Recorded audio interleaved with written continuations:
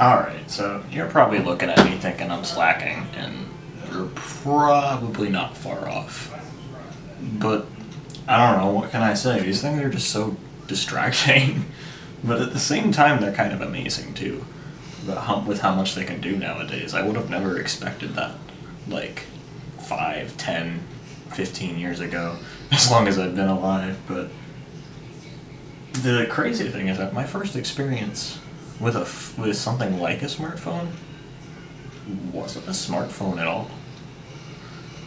But to kind of give you a better idea of what that might be, I think I need to get off campus and kind of show you. So let's do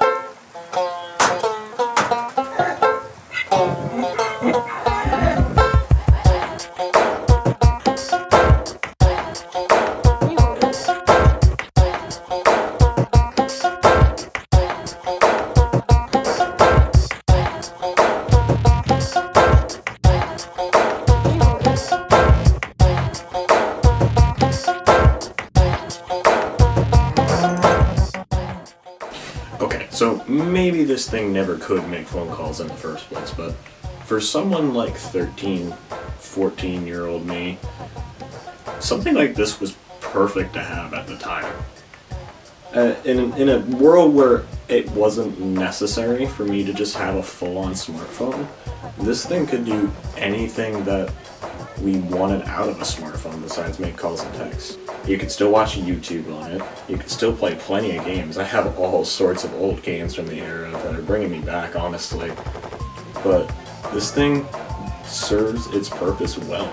And even looking back on it now, it still does exactly what it's designed to do. It's just that the funny thing is, is now it's a relic. It, it's the passage of time, really. And just with comparing it to like my phone now, for example, it just looks so much older, and I think that's just because that's what we've come to expect now out of phones. Now that I'm uh, back in my hometown, why don't we go and do some comparisons outside of my bedroom?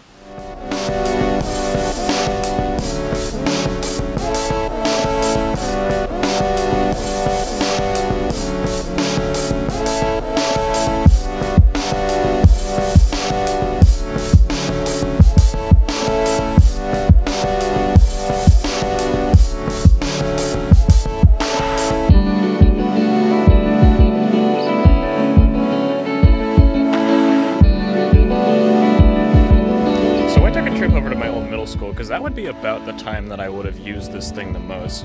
And I figured that this would be the perfect place to kind of reminisce about how I used to use this thing and the kind of how much different it was to use in, compared to like the phone I have nowadays.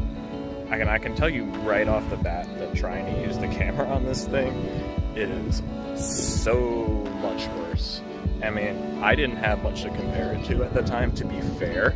It's just, you can definitely tell the difference. It's, it's literally a night and day difference. But, you know, I didn't have much to compare it to at the time. This was standard. Unless I wanted to get something like a professional video camera. That was, that, this is what we were dealing with at the time. Just for fun, too, this is what happens if I try to use the selfie camera on this thing, which I think is equally just as bad. But I mean, it does. It still does the job, I guess. Shows me that my hair's a mess. And the other thing too is that back when I was using this, there was no data. There was no 4G. There was no 3G. It was all Wi-Fi. And considering my middle school probably wouldn't have let me use the Wi-Fi at the time, I was basically completely disconnected until I got home. So any social media that I started to do, I believe I started Instagram around then. It's just it was completely, completely different. And it's just it's so jarring to think about, really. A couple other things I noticed too.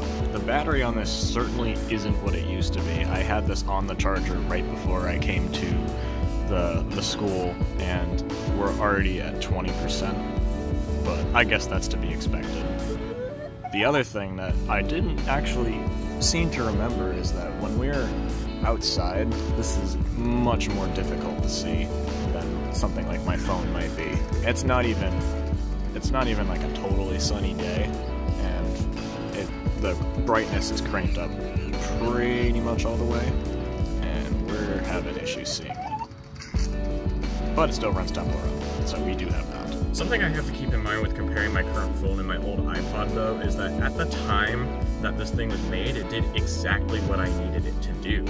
It could run the latest games, it could take pictures if a little bit rudimentary, it could play music, something I really, really wanted was my own music library, and I finally had that, and it was so great. And it was just able to do all of these things, and it did it well and trying to compare it to more modern standards like trying to do video chat trying to do uh, the latest version of instagram or trying to get it to do snapchat or trying to run some newer games or just trying to get it to do the modern internet. It's almost not even fair even if it is a little funny to try to get it to work. It wasn't made to do that.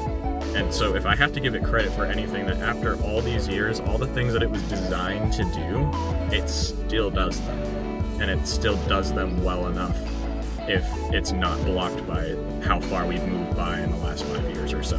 So that has been the most fun about this video for me, is trying to look back and see what this thing can do and thinking about where we've gone in tech and where this thing stands nowadays.